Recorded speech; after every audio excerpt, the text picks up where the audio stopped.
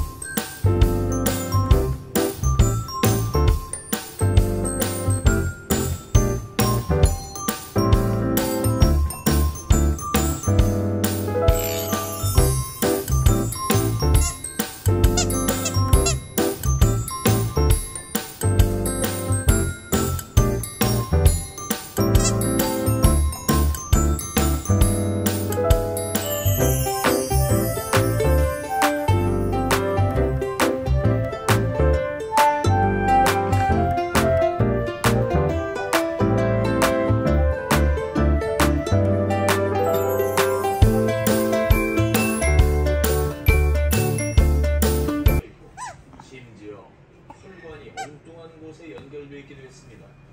DNA가 시킨 대로 이게 분열이 되면서 자기 위치를 잡잖아요.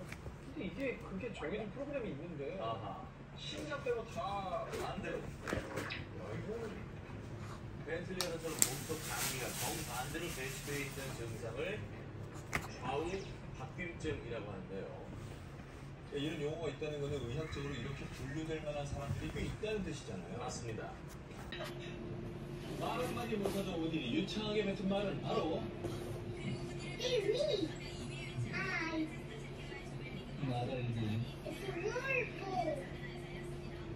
이스라엘 국적으로 아랍어를 사용하는 부모님께서 자란 아이가 영어로 말을 하는 겁니다. 에이, 안돼. 영어를 어떻게 해? 주변에서 저희를 해준 사람